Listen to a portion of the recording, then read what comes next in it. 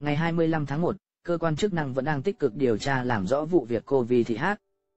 47 tuổi, trú tại xã Võ Lao, huyện Thanh Ba, Phú Thọ, hiệu phó trường tiểu học Võ Lao và gái là Đoàn Thị Khánh L.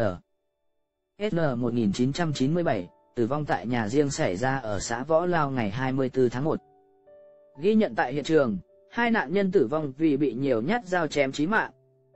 Hiện trường còn lưu lại một cái áo khoác nam đâm máu. Nghi chiếc áo là của hung thủ để lại, công an đã tích cực điều tra. Trao đổi với báo chí, đại diện công an tỉnh Phú Thọ cho biết, bước đầu đã xác định được chủ nhân chiếc áo là Nguyễn Hát.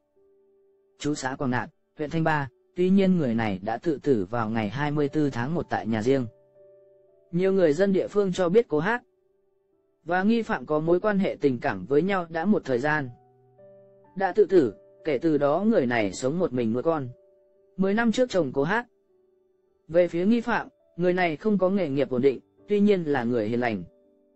Gia đình có hai con, tuy nhiên vợ chồng cũng đã ly thân từ 7 năm trước.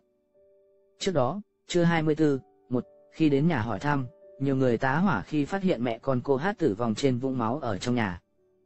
Nhận được thông tin, lực lượng chức năng nhanh chóng đến phong tỏa hiện trường phục vụ điều tra. Vì vụ việc có nhiều tình tiết phức tạp, hiện cơ quan chức năng vẫn tích cực điều tra làm rõ.